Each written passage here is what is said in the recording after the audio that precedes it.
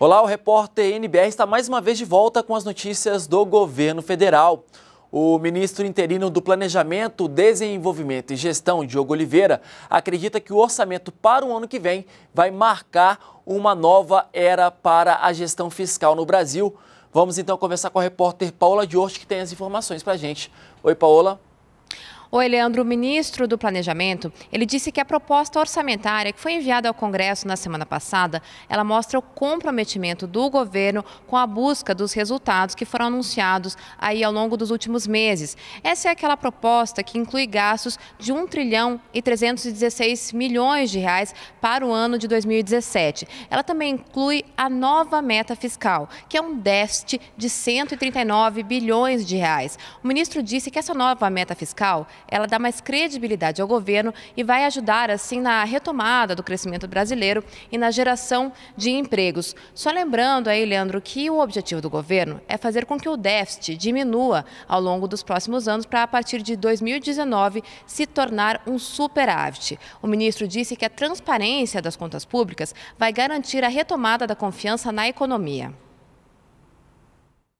Marca uma nova era na gestão fiscal. Uma era que será regida pelo controle da despesa, pela transparência nos números, nos fatos, nos dados que compõem o orçamento e por uma busca incessante de cumprimento dos resultados ali previstos. E isso trará grandes benefícios para a sociedade, porque a partir do reconhecimento dos agentes de que nós temos esse comprometimento, é que haverá a revisão das expectativas, o crescimento da credibilidade e, ao fim, e o que mais nos interessa, a retomada do crescimento, dos investimentos e dos empregos.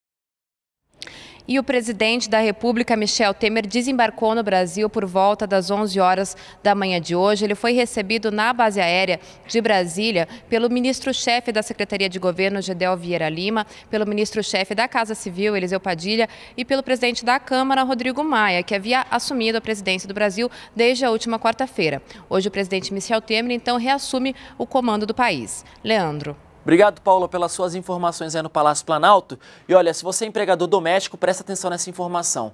Termina hoje o prazo para os empregadores domésticos pagarem o E-Social de agosto. O documento reúne em uma única guia as contribuições fiscais, trabalhistas e previdenciárias. Os boletos gerados a partir dessa data serão calculados com multa. Para emitir o documento, o empregador deve acessar a página do E-Social na internet.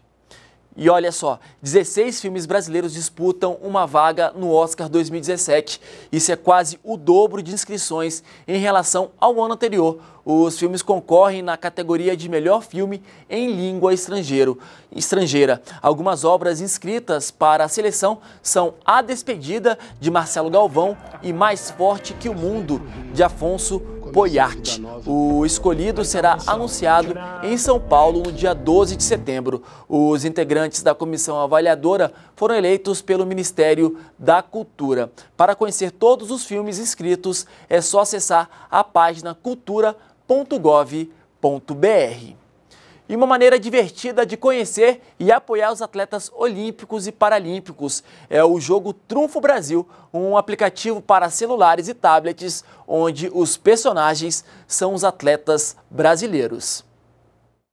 Força, velocidade, agilidade, concentração e anos de carreira. São cinco categorias de desafio para brincar com os atletas brasileiros. O aplicativo Trunfo Brasil 2016 foi desenvolvido pelo Ministério do Esporte para que o público conheça os esportistas olímpicos e paralímpicos que defendem o Brasil nos Jogos Rio 2016.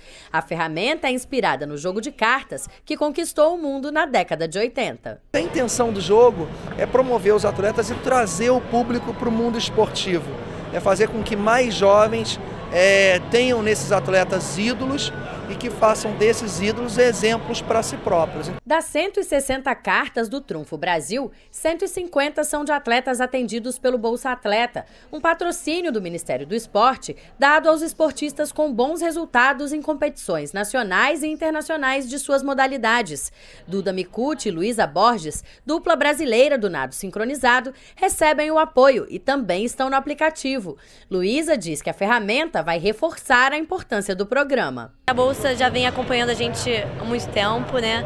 Com certeza fez muita parte da gente agora nos Jogos Olímpicos de 2016. A gente conseguiu ter um pouco mais de estrutura, um pouco mais de apoio é, dentro dos profissionais. Então tem sido muito importante. Com certeza até 2020 vai cada vez apoiar mais a gente que a gente conseguir alcançar nosso resultado. O aplicativo permite que você jogue contra a própria ferramenta, contra um amigo que você convida ou contra outro jogador aleatório. Eu e o Pedro estamos jogando aqui, eu já ganhei dele uma vez, mas ele vai tentar de novo. Pedro, o que, que você tem aí de velocidade? É, Charles Tibana, velocidade 85. Adria Santos, 90. Ganhei de novo. É uma emoção muito grande, né? A gente sempre. Eu sempre joguei trunfo quando era pequena, adorava, brigava com meus primos, com meus amigos. E hoje poder estar dentro do trunfo é uma sensação muito, muito bacana, né? Prepare a sua torcida. Amanhã é a abertura oficial dos Jogos Paralímpicos Rio 2016. NBR. Somos todos Brasil. E essa edição do Repórter NBR termina aqui. Voltamos a qualquer momento ou às três da tarde na próxima edição do Repórter NBR. Acompanhe também as novidades em nossas redes sociais. Uma boa tarde para você, um bom almoço e continue com a gente aqui na NBR, a TV do Governo Federal.